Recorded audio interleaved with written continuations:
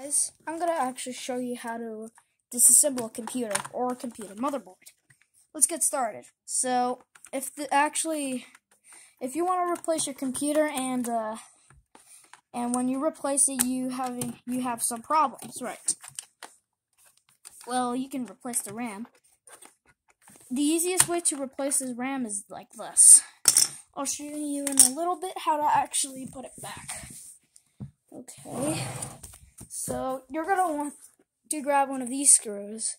It has to be at least a little big and so you can actually um to untie these screws.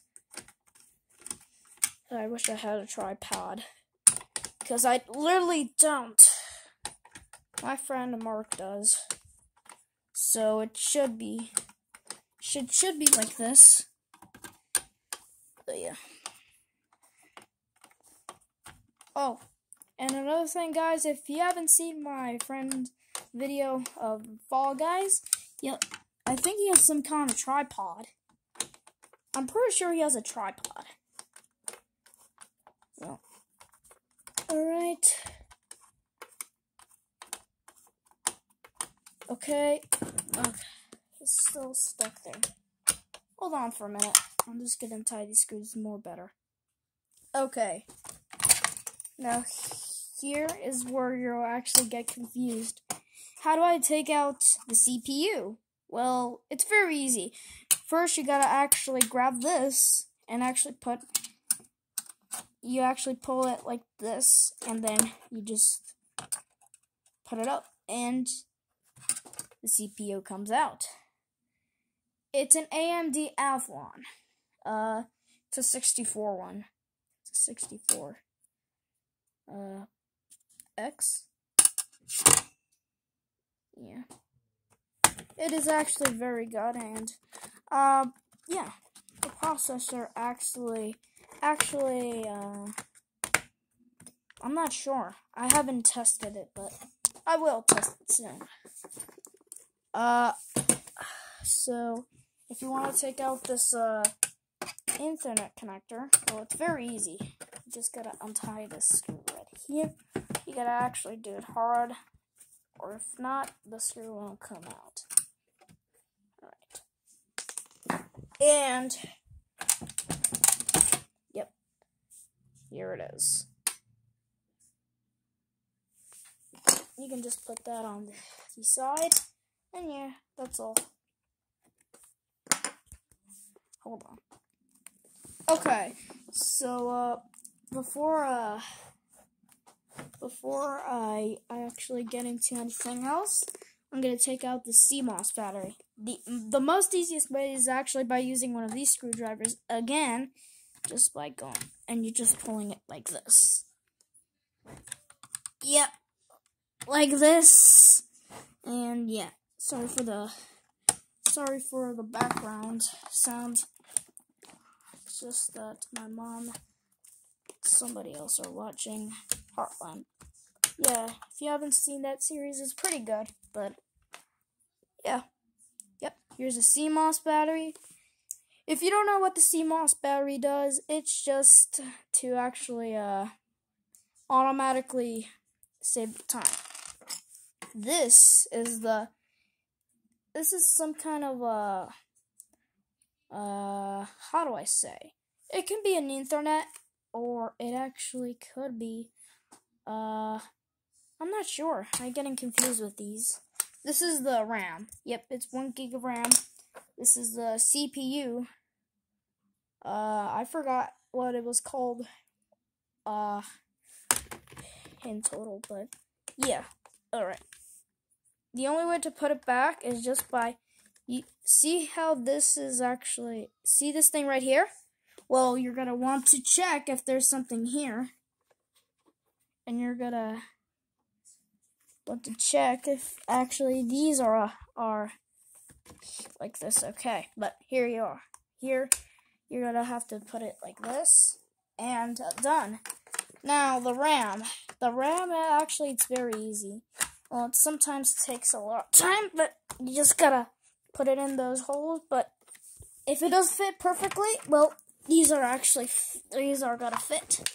So, yeah, and yeah, okay. This uh, internet, or I think, I think it's some kind of Ethernet cable uh, adapter, and I think, or I, it's for one of those old telephones you can plug in so you can get a a line, but I don't think so. So you you will ask me, where did I get this? Well, hold on. I'll just tell you right back. I'll just tell you right right now. Hold on. You gotta put the screw in back. Okay. So where did I find this? Well, I found it actually at the garbage with my dad, and I decided to take it all the way home with me. The only way to put the CMOS battery is like this. And then it'll, it'll go like this. But first you have to put the CMOS battery like this, then put it like this. Yep. So where did I get this? Yep, I got it from the garbage. And actually, uh, I actually found it with the hard drive and with all, with just the power supply, but I uh, threw out the hard drive because why would I need it? Alright. And, uh, yep.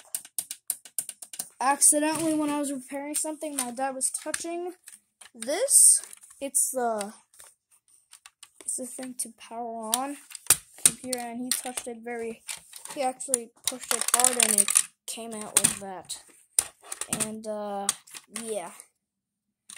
But, there's no way to fix that. But, yeah. And I hope you like this video, people. Also, I'm not, there's actually a product key on there. I'm not going to show that. I'll show you what this is. It's designed for Windows XP. It uh, has an AMD Athlon 64. And the graphics are, of course, from Nvidia. Why not? Well, okay. But yeah. Uh so this is actually running Windows XP, but I've never tested the hard drive and that stuff, but yeah. Soon I will do actually my whole entire collection of uh uh phones I have. Also I got a brand new phone because uh why not, of course. Because my phone was getting bad and bad, bad, like it wasn't getting great, but yeah. Anyways, yeah, I'll see you guys in the next video. Oh yeah, before I actually end the video, you're gonna want to actually put the this back like this. You're gonna want to try to get it to its position and then screw it back to its place. And it should be working fine.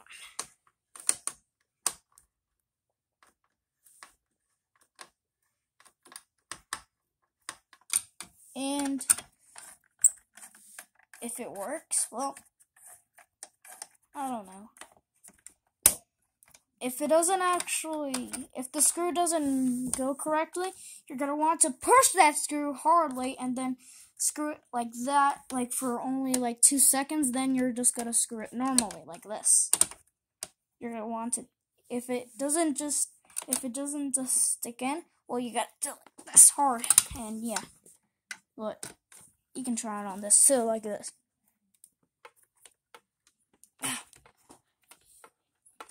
Yep. It works all the time. So yeah, I'm gonna start repairing uh, technology and all that kind of stuff. And yeah, but I hope you like this video. Not, I'm not going to the temple yet. Okay, bye.